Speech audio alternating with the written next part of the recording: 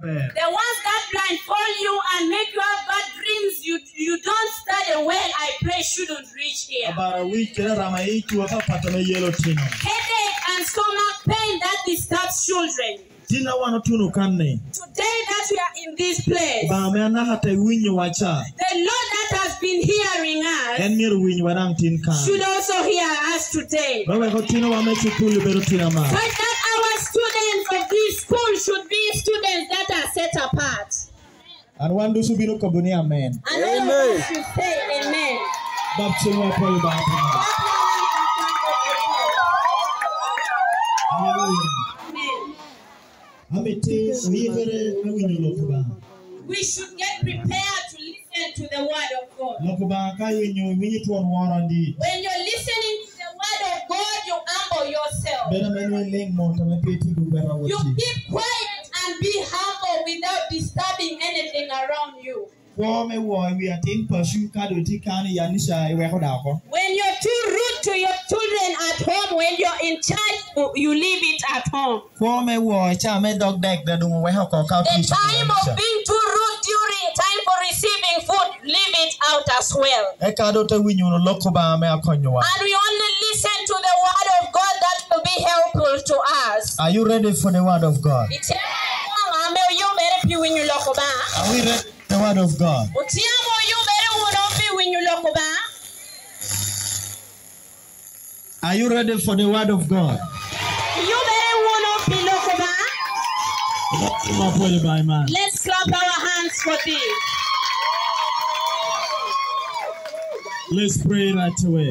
Ule wono ko Father, in the name of Jesus, apape nyen Yesu Kristo. it is a great privilege that we are here today. Ubedo tuan guma dit me wan bedo kanin You inati. have given us chance to come and utter your word to you. Yohi miyo wado kisha me bino ko buloki bodo I know Johnny. there is a reason for us coming here. Angeoni tien ko pere tio miyo wabino I kani know there ati. is a soul you want to save and to display. Angeoni tien nga tora me yini mi tulare di school man. I pray you come by yourself Alegoni yini kukomi yenna and you yebis. speak to them. Ai te lokergi. May you speak to their inner souls. Lokomi yichwingi papa. May you arrest their hearts Mieri ilo ikwe chwingi. and hearken them to the Holy Spirit. Eda ite chwalo gi bo chwinya chill. And way your word is going on, Kadong chwinyi lokitia waranyi. I pray you touch their inner recognition of right and wrong.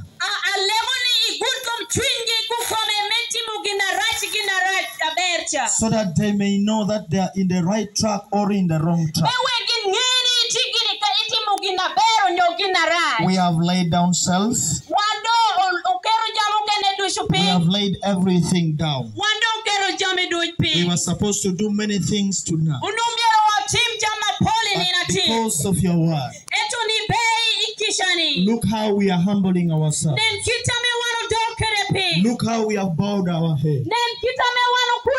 Look how students are closing their eyes to listen to your word. kita motin kwanti umiyo wangi me winyo May you look how the parents are humbling themselves. Nen ko kita mo nywal gitia bolle All tere. this welcome you to come and talk to them. Obedo ka me jolli me biru lokere gi. If I were you, Kado unwa bedo yiro I would come in fullness and minister into their life Aka tello hi ko so that their life will not remain the same.